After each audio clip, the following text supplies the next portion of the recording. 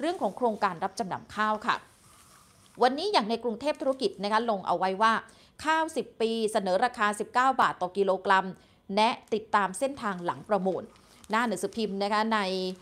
แนวหน้าคุณผู้ฟังคะวันนี้ก็ขึ้นหน้าหนึ่งกันเอาไว้เนี่ยนะคะในประเด็นเนี้ยบอกว่าปิดฉากจำนำข้าวบริษัท V1 คว้าชัย ประมูลข้าว 10 ปีให้กิโลกรัมละ 19 บาทนะคะ7สตางค์ค่ะ ปรากฏว่ามันเป็นเรื่องขึ้นมาค่ะสำหรับบริษัท V1 Intertrading เนี่ยนะคะจากกำแพงเพชรที่ชนะประมูลข้าว 10 ปี มูลค่าเกือบ 300 ล้านบาทเนี่ยคุณผู้ฟังคะก็คือกิโลกรัมละ 19 บาทเนี่ยปรากฏว่า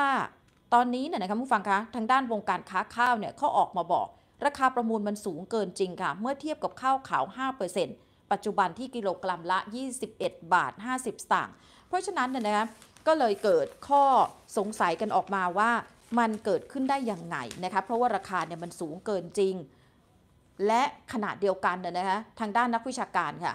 คุณสมพร อิศวิลานนท์นะคะนักวิชาการอาวุโสของสถาบันคลังสมองแห่งชาติเนี่ยก็ออกมาแนะนำนะคะว่าให้ติดตามเส้นทางการระบายข้าวค่ะ เพราะวงการค้าข้าวระบุเลยว่าในโกดังทั้งสองอเก็บเอาไว้ดีเอามาสีปรับสภาพได้เนี่ยเสียหายไม่มากนักเนี่ยก็คาดว่าผู้ประมูลน่าจะมีตลาด แต่บริษัทนะคะ V1 เนี่ยเป็นบริษัทค้าข้าวในประเทศ ก็คงมีตลาดโชว์หวยอยู่ หรืออาจจะร่วมมือกันกับผู้ส่งออกที่ไม่เปิดเผยตัวตน เพื่อส่งออกข้าวก็ได้ เพราะฉะนั้นเนี่ยนะคะก็แนะนำให้ติดตามเส้นทางหลังประมูลและเนี่ยนะคะก็มีการวิพากษ์วิจารณ์กันไม่น้อยแล้วค่ะกับบริษัทจดทะเบียนแค่เพียง 2 ล้าน และเนี่ยนะคะเอ่อกำไร 2 0 0แสนแต่ว่าสามารถที่จะนะคะประมูลได้ในราคาเนี่ยเกือบ 300 ล้านบาทเลยทีเดียวค่ะ ก็เลยมีข้อสงสัยในหลากหลายประเด็นที่มีกันออกมานะคะคุณผู้ฟัง